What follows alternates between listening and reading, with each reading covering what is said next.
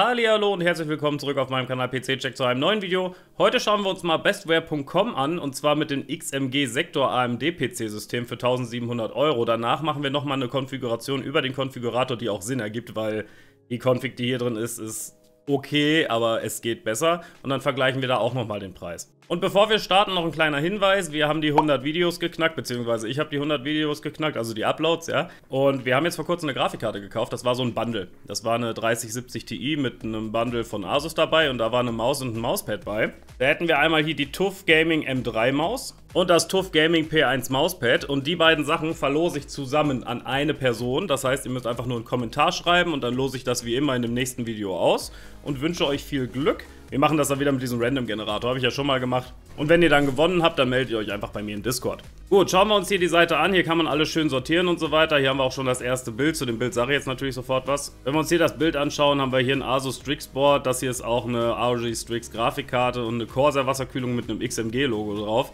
Allerdings stimmt das absolut nicht. Das ist tatsächlich nur ein Beispielbild, aber es wird nirgendwo darauf hingewiesen. Das heißt, die Kiste, wenn ihr die kauft, wird definitiv nicht so aussehen. Auch mit den Lüftern hier vorne. Das passt absolut nicht. Auch nicht mit dem RAM. Es kommt natürlich, wie gesagt, darauf an, wie es konfiguriert. Aber in dieser Grundkonfig, wie es jetzt hier ist, ist das nicht so. Ich habe jetzt schon mal auf Jetzt konfigurieren geklickt, dann droppt der Preis von 1699 auf 1673 Euro. Kommen wir erstmal zu dieser Grundkonfig. Also erstmal der Konfigurator ist sehr übersichtlich aufgebaut, finde ich sehr, sehr gut. Also ich habe selten so einen guten Konfigurator gesehen. Klar, Mifcom und so, die haben auch was Schönes. Aber der ist echt gut aufgebaut, finde ich. Als Gehäuse haben wir nicht viel Auswahl. Das ist das Corsair 4000D Airflow Schwarz. Ja, das ist ein Top-Gehäuse. Überhaupt kein Problem. Passt alles rein, hat einen guten Airflow. Wir haben damit schon gute Erfahrungen gemacht. Wir empfehlen es auch sehr oft auf Discord. Übrigens, Discord, falls ihr Bock habt, joint gerne den Server. Brauche ich nicht viel zu sagen.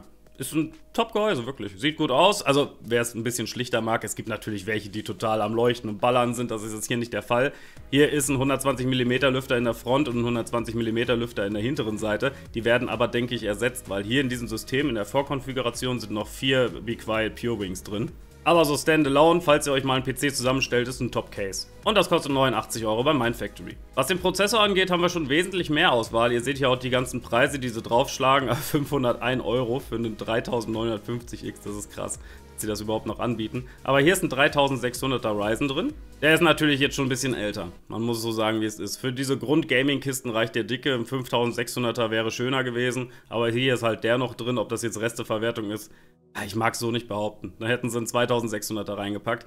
Zum Streamen nur bedingt geeignet für Just Chatting oder Valorant oder so ist das okay, je nachdem, worüber ihr rendert, Grafikkarte oder Prozessor. Zum Zocken allgemein reicht er erstmal noch aus. Ich hätte mir aber tatsächlich etwas moderneres gewünscht, vor allen Dingen bei dem Preispunkt. Der hat eine TDP von 65 Watt, 6 Kerne, 12 Threads, unterstützt offiziell 3200 MHz RAM und der kostet 199 Euro bei Mindfactory. Als Mainboard bekommen wir ein MSI MPG B550 Gaming Edge Wi-Fi. Das ist ein gutes Board tatsächlich. B550 ist auch prädestiniert eigentlich für die 5000er Reihe, aber der 3600er läuft da drauf natürlich auch. Hat auch WLAN und Bluetooth, ist auch ein schönes Full ATX Board, hier gekühlte Spannungswandler, vier RAM-Bänke, hier kommt die Grafikkarte rein, hier ist die SSD verbaut, hier unten könnt ihr noch erweitern mit Catcher Card oder ähnliches USB-Erweiterungskarte, was es halt alles so für PCI Express gibt. Hier unten kann noch eine M.2 SSD rein, hier habt ihr noch dezente RGB-Beleuchtung. Was die Anschlüsse angeht, sind wir auch gut ausgestattet. 7.1 mit Toslink, WLAN, Bluetooth, USB 3.1, USB 3.1 Typ C, zweimal USB 3.0, zweimal USB 2.0. Grafikanschlüsse werdet ihr hier nicht benutzen wegen dem Prozessor.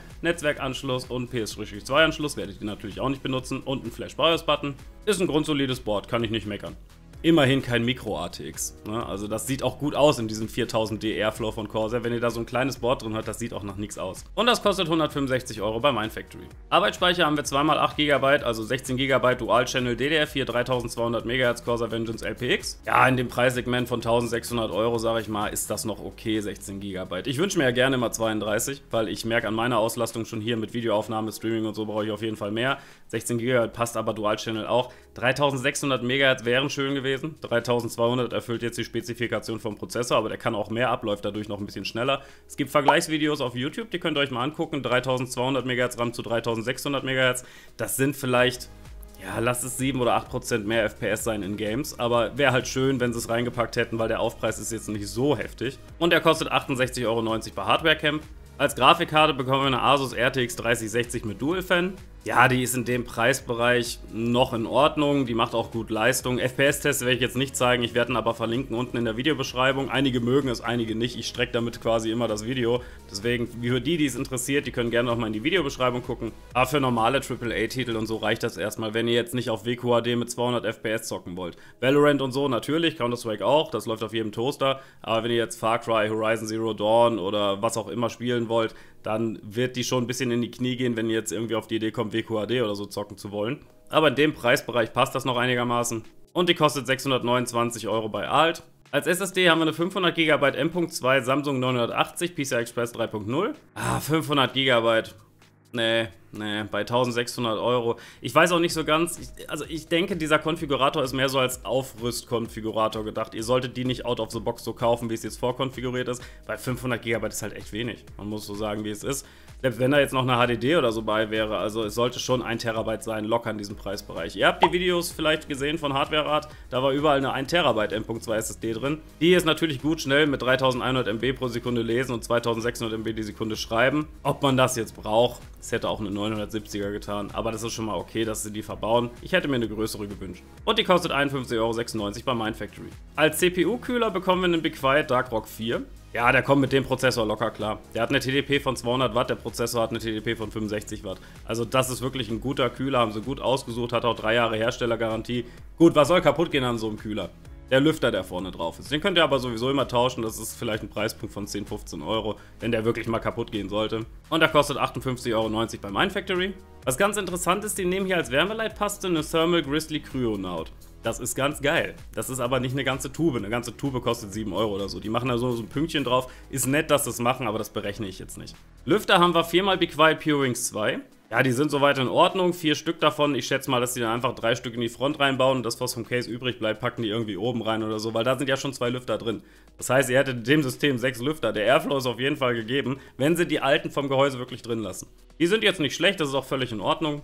Aber hier haben wir halt auch wieder dieses Thema keine RGB-Beleuchtung. Ihr seht auf dem Bild halt vorne, die drei Lüfter sind beleuchtet. Das ist jetzt hier nicht der Fall. Und die kosten pro Stück 7,92 Euro.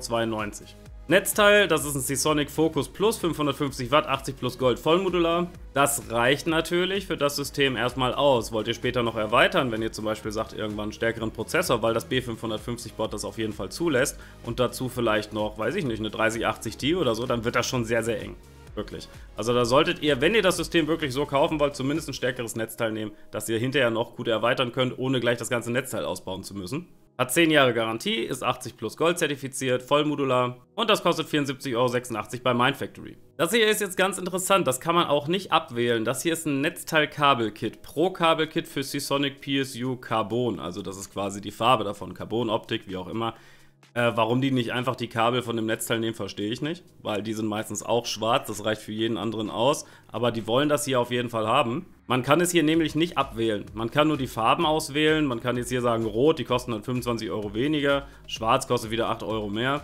Das verstehe ich nicht so ganz, warum sie das gemacht haben. Aber wir berechnen es natürlich auch. Es sieht dann auch gut aus im System, aber es muss nicht sein. Ihr seht, wie teuer das ist. Das kostet 100 Euro jetzt im Endkundenbereich. Ich weiß nicht, was die bezahlen. Aber 100 Euro für ein Kabelkit, da kriegt ihr ein ganzes Netzteil inklusive Kabel für, ne? Aber wir berechnen das, kein Problem. Ansonsten ist halt ein Stromkabel dabei. Ja gut, das ist bei jedem Netzteil dabei. Betriebssystem ist nicht dabei. 36 Monate Basisgarantie, Pickup und Return. Das ist ganz nice. Das heißt, DHL kommt zu euch, holt das Ding ab und dann liefern die das auch wieder ab. Dann braucht ihr nicht zur Post fahren, das Ding unterm Arm klemmen. Das ist okay. 36 Monate ist auch nicht selbstverständlich. Normalerweise hat man so zwei Jahre. Agando zum Beispiel sagt auch drei Jahre, Dubaro wiederum nur zwei Jahre, was man erweitern kann mit 50 Euro extra, dann hat man auch drei Jahre. Ist auf jeden Fall geil, dass es dabei ist. Und dann wären wir auch schon beim Endergebnis. Hier haben wir die SSD, den Prozessor, den RAM, die Grafikkarte, das Mainboard, die Lüfter, den Kühler, das Gehäuse, das Netzteil und das Cable Mod. Und da kommen wir auf einen Gesamtpreis von 1468,16 Euro. Das System soll kosten 1673,98 Euro. Das heißt, ihr würdet dieses System für ungefähr 200 Euro Aufpreis bekommen. Das ist okay. Bei Mindfactory würdet ihr 150 fürs Zusammenbauen bezahlen. Ihr habt natürlich hier drei Jahre Garantie. Jetzt sagen wir mal, Dubaro rechnet noch diese 50 Euro extra für dieses ein Jahr, also zwei auf drei Jahre. Dann seid ihr es auch so um den Dreh 150 Euro. Also wie gesagt, bis 200 Euro gehe ich noch mit. Das ist okay. Ob die Konfiguration so jetzt Sinn macht, lasse ich mal dahingestellt. Es lässt sich auf jeden Fall gut zocken. Das Mainboard ist in Ordnung und so. Das mit dem Netzteil, die Erweiterbarkeit, Äh, und was ich halt schade finde, man sieht hier dieses Bild, es sind auch unterschiedliche Bilder hier unten zu sehen. Man denkt, man kriegt so eine Kiste und dann leuchtet da gefühlt gar nichts. Weil die 3060 kann auch gut sein, dass die kaum leuchtet und der RAM auch nicht, weil das ist normaler LPX-RAM, hier ist der RGB Pro RAM drin. Finde ich immer ein bisschen schade, dass die Kunden damit so irgendwie in die Irre geführt werden, ne? Hier ist halt auch einfach kein Hinweis, dass das irgendwie ein Beispielbild sein soll. Bei MIFCOM steht das zum Beispiel. Achtung, Abbildung kann abweichen und so. Dann haben wir hier noch den XMG Sektor AMD. Da ist es jetzt so, das wäre eine Config, wie wir es eventuell machen würden. Man kann sich jetzt darüber streiten, ob diese Pure Wings, die da drin sind, in Ordnung sind oder ob man doch RGB nehmen sollte, wie auch immer. Das ist ungefähr eine Config, wie sie in Ordnung wäre aus meiner Sicht. Da seid ihr natürlich bei 3627,88 Euro. Ich habe jetzt viele teurere Komponenten auch genommen, dass wir aber auch einen guten Vergleich haben. Das Case, da brauche ich nichts mehr zu sagen, das ist das gleiche.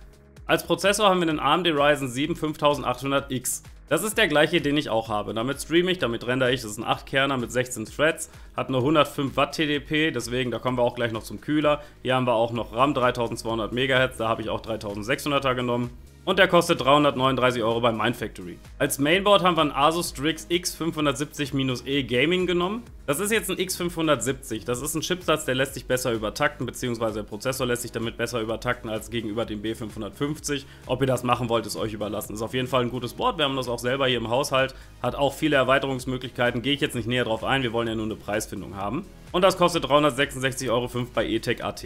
Arbeitsspeicher haben wir zweimal 16 GB, also 32 GB im Dual-Channel DDR4 3600 MHz. Also nicht 3200, sondern 3600 MHz als RGB-Variante, dass wir optisch so ein bisschen an das Bild rankommen, was da auch gezeigt wird. Gut, da sind vier Stück drin, hier sind jetzt nur zwei. Dann könnt ihr aber hinterher noch erweitern, wenn ihr zum Beispiel auf 64 oder so gehen wollt. Und der kostet 147,77 Euro. Als Grafikkarte haben wir in dem Fall jetzt eine Zotac Gaming Trinity genommen, RTX 3080 Ti. Hier steht zum Beispiel auch, bitte wählen Sie ein Netzteil mit 750 Watt oder mehr. Jetzt stellt euch mal vor, der Aldi-PC mit dem Intel 12900 plus einer 3090, was der dann frisst. Dann würden sie wahrscheinlich hier schon schreiben, nimm 850 Watt oder mehr. Da nur mal zum Thema Netzteil, da habe ich ja letztes Mal so ein bisschen drauf rumgetreten. Das ist natürlich von der Serie her 3080 Ti im Moment so ziemlich das Beste, was ihr kriegen könnt. Danach kommt noch die 3090, die hat aber effektiv einfach nur mehr Speicher. Die hat im User-Benchmark vielleicht 1% mehr. Damit kriegt ihr die AAA-Titel auf jeden Fall gerockt. In 4K natürlich mit begrenzten FPS. Man sieht es ja zum Beispiel bei Cyberpunk hat selbst die 3090 46 FPS auf 4K. Aber ist auf jeden Fall eine super Grafikkarte. Und die kostet 1699 Euro. Dann haben wir hier als SSD eine 1TB M.2 Samsung 970 Evo Plus genommen. Die hat auch ordentliche Geschwindigkeiten von 3500 MB pro Sekunde lesen und 3300 MB pro Sekunde schreiben. Hat 1 Terabyte, nicht 500 GB. Man kann auch noch höher gehen. Bei einem 3500 Euro PC, da kann man auch 2 Terabyte oder so reinschustern. Wie gesagt, es ist jetzt nur eine grobe Übersicht, wie wir es zusammenstellen würden. Und die kostet 104 Euro bei Mindfactory. Als CPU-Kühler haben wir eine Corsair Hydro Series H150i RGB Pro XT. Das ist eben auch ungefähr die Wasserkühlung, die in dem Bild zu sehen ist. Ist eine 360er, sieht gut aus, kühlt den Prozessor auch ganz locker, überhaupt kein Problem. Ich kühle meine auch mit der 360er AIO. Und die kostet 143,97 Euro bei Mindfactory. Die Wärmeleitpaste werden wir natürlich wieder nicht berechnen. Dann haben wir hier wieder die Pure Wings, brauche ich euch jetzt nicht zeigen. Ich habe allerdings in dem Fall die Sonic Focus Plus 850 Watt genommen, damit wir auf der sicheren Seite sind. Hier haben wir es auch schon, ist vollmodular, 10 Jahre Garantie, ist einfach nur ein stärkeres Netzteil, klar. Und das kostet 112,59 Euro bei Aquatuning. Hier haben wir wieder das gleiche Kabelkit, brauche ich euch auch nicht zeigen. Stromkabel ist auch klar und die 36 Monate Garantie. Und dann hätten wir hier auch das Ergebnis. Hier ist die SSD, der Prozessor, der RAM, die Grafikkarte, das Mainboard, die Lüfter, das Case, die Wasserkühlung, das Netzteil und das Cable Mod. Und da kommen wir auf einen Gesamtpreis von 3.127,80 Euro. Das System soll kosten 3.627,88 Euro. Das sind einfach mal 500 Euro mehr gegenüber Selbstbaupreis. Ihr habt ja Endkundenpreise bei Geizhals. Äh, die kommen an die Teile noch günstiger dran, je nach Abnahmemenge, klar. Und ihr kriegt die Komponenten bei Mindfactory wahrscheinlich auch alle zusammengestellt, bis auf das Mainboard. Da könnt ihr auch auf das MSI zurückgreifen, weil Mindfactory führt kein Asus. Ansonsten könntet ihr das quasi nachstellen und für 150 Euro bei Mindfactory zusammenbauen lassen. Äh, das ist schon krass viel. Bei dem einen System eben habe ich gesagt, okay, 200 Euro, kann ich mich drauf einlassen. 500 Euro finde ich zu viel. Auf jeden Fall. Und ihr müsst es euch ja auch so vorstellen. Es kostet jetzt auch den Systemintegrator nicht 150 Euro, das zusammenzubauen. Da sind teilweise Leute, die arbeiten für Mindestlohn. Die knallen euch in zwei Stunden so ein System dahin, das kostet den Arbeitgeber dann effektiv, sag ich mal, 50 Euro mit ganzen Sozialversicherungen und so was.